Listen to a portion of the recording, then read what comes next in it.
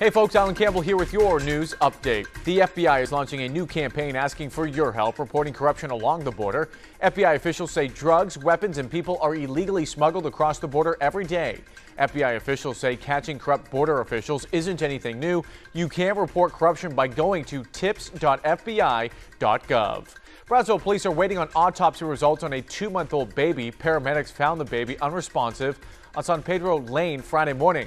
The baby was pronounced dead at the scene. According to officers, the body didn't show any signs of trauma, nor did it have any known medical history. Investigators say charges are pending following those autopsy results.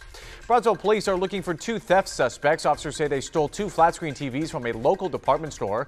The pair was last seen driving a black Lincoln MKZ with paper plates. If you have any information, call Brownsville Crime Stoppers at 546 8477.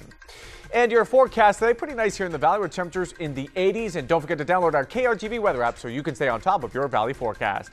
That is your news update for Tuesday, December 27th. Have a great day.